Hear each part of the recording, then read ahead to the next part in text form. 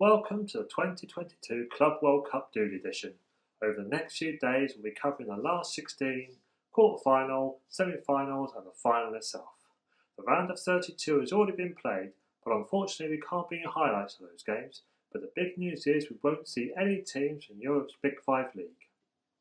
That's right, Man City got knocked out by Slavia Prague, Lille by Bodo Glimt, defending champions Real Madrid were beaten by Sporting Lisbon, Red Bull Salzburg triumphed over Inter Milan, and Dynamo Kiev beat Bayern Munich. An extraordinary set of results, which leaves the way open for a less fancied team to take this year's title. Do you have a favourite in mind? No, not really.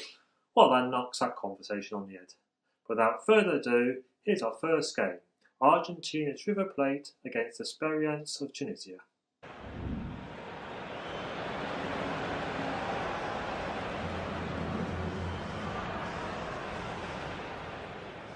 It might be the moment to get them ahead. The net is staring him in the face. And there it is, the opening goal, 1-0, and they'll feel they deserve it.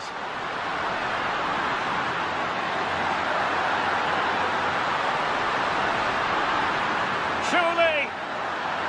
Oh, a goal! An equaliser in the closing stages. Good pressure to win the ball back high up the pitch. Can he finish?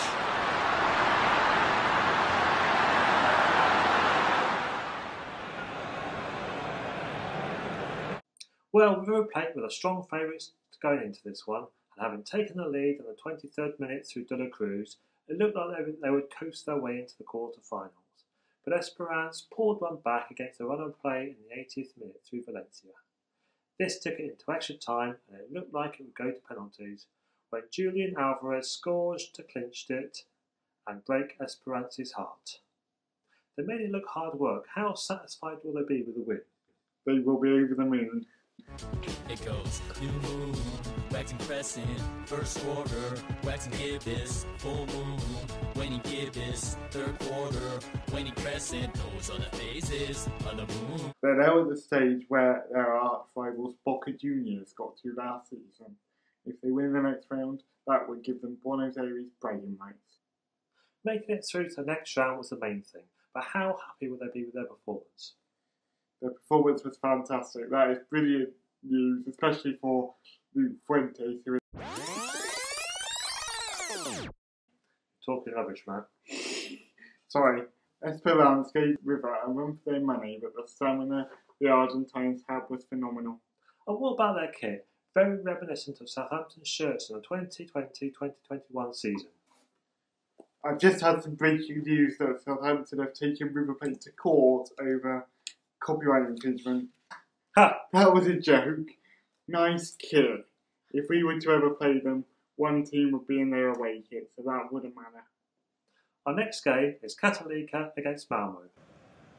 And they kick off here.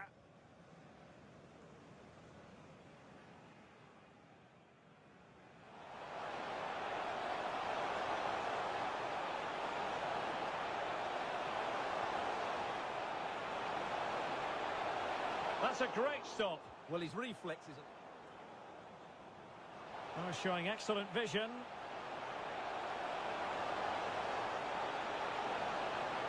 And there it is, 1-0. Their efforts have been rewarded. And look at the celebrations. Zampedri on a decent delivery. Is it going to be an opportunity? And a goal to increase their advantage. It's a two-goal lead now.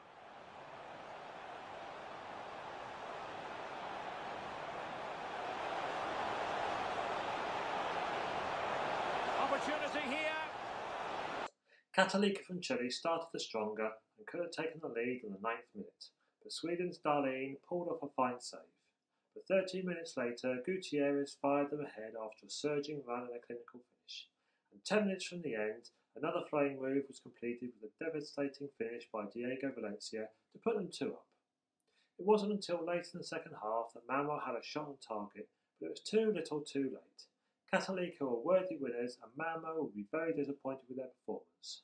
That gave us good proof that South American football is getting better, but yes, Malmo will be kicking themselves over that loss. The chilies were just too hot for the Swedes. How about the Chinese? I quite fancy a Sweden sour. Actually, I feel a little bit chilly. Do you think Católica have the potential to go any further? In a one-off match, especially if it is at a neutral venue, anyone can beat anyone on their day, but the fact there are no European powerhouses is good news for South American teams like Casablanca, who will feel like they're in with a big shout of this. Next, CF Montreal against Sporting Lisbon.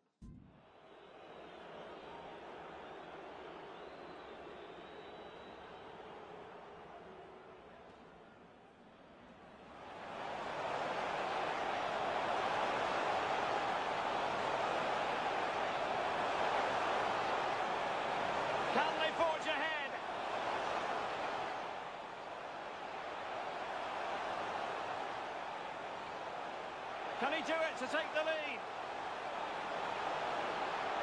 And a goal! Now they've broken through. 1-0 here. Jovan Cabral.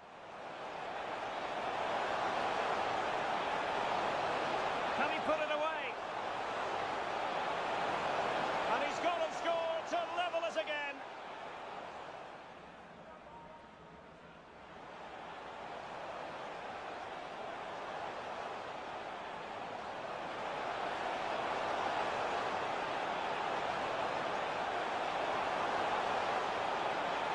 Oh, surely. Great save to keep it even. Well,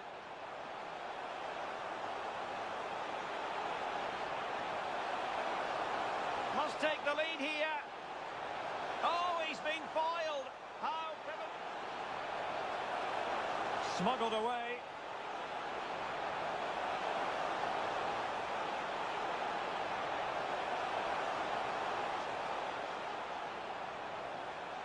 Long way out. And the penalty to win it. Well, what a penalty this is. He was under so much pressure, but he's finished it really well. An open, entertaining game and one that could easily have had more goals.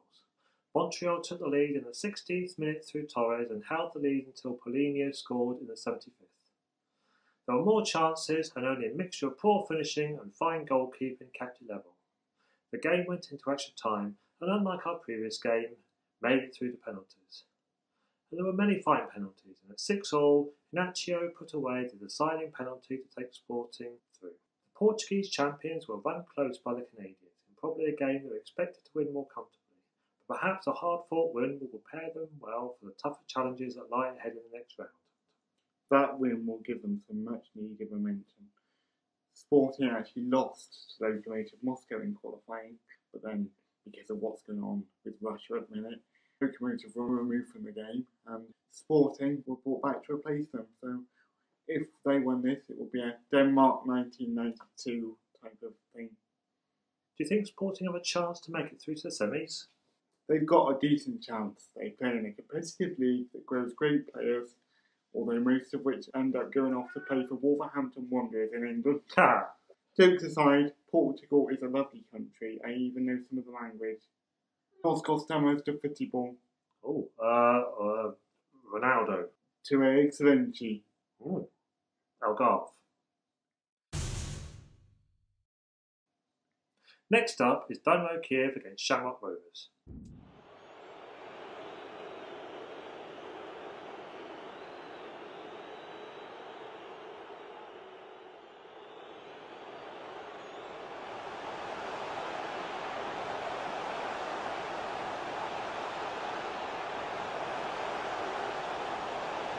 Oh, could be. Oh, a moment of pure class. Had to catch it perfectly, and didn't he just?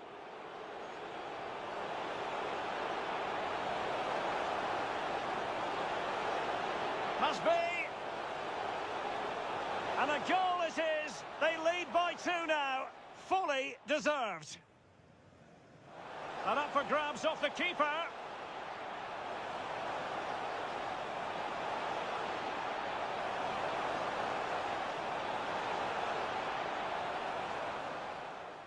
It was always going to be tough for Shamrock Rovers against Champion League's regulars Dynamo Kiev, and so it turned out.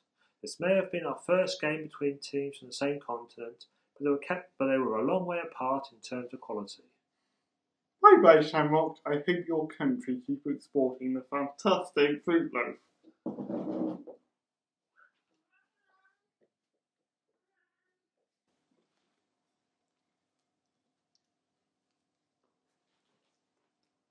Good, isn't it? Yeah.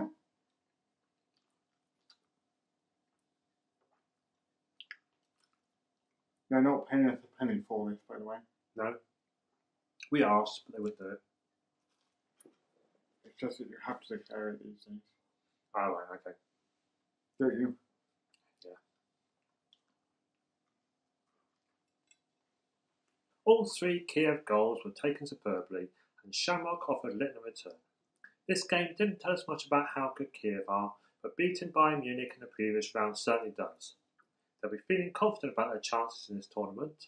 You've got to give credit to Dynamo Kiev. They played, they played brilliantly considering what must be going through the players' minds relating to what's happening in their country. Shamrock's a great name for a club, though. Can you think of a club with a better one? I used to manage a team called Lovely WFC. Lovely, Well, Rodney, that wraps up for this evening. All that football in the sun has made me feel a bit hot. We got some half price cracked ice. Miles and miles of carpet tiles. TVs, deep freezing, David Bowie LPs, all games, gold chains, what's names, and Edda Push, and Trevor Francis track suits from a mush and shepherd's bush. Push,